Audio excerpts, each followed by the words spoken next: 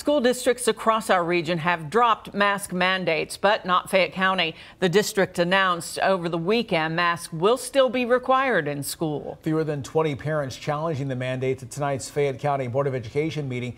LEX 18's Ricky Sayer speaking to district leaders to get their response. That's the LEX 18 big story at 11. Emotions ran high at tonight's Fayette County School Board meeting. I'm not a doctor, I'm not a scientist, I'm a mom. Dr. Robert Malone said it's the pissed off moms that will take back and save America.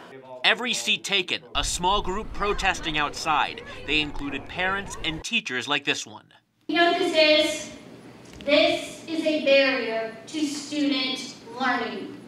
All we're asking is mask optional. Let the parents choose. There were some who supported the mandate. We are very grateful We're still smack in the middle of our war with COVID. The district announced over the weekend they'd keep the mandate in place.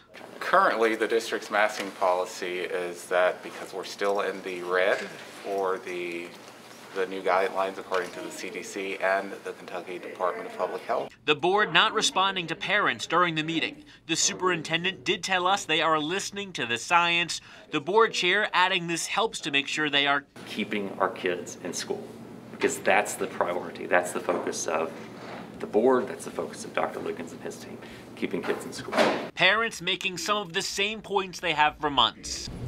They struggle to understand they struggled to hear. What's different now, they say? All the other counties have brought them. You have not. Some of those nearby counties in the red zone, too. Our, our decisions are about Fayette County.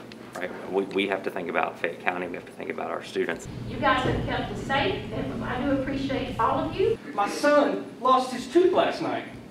You wouldn't know that, and neither would his friends, because you make him wear a mask everyone steady in their belief they know what's right for the students in their community.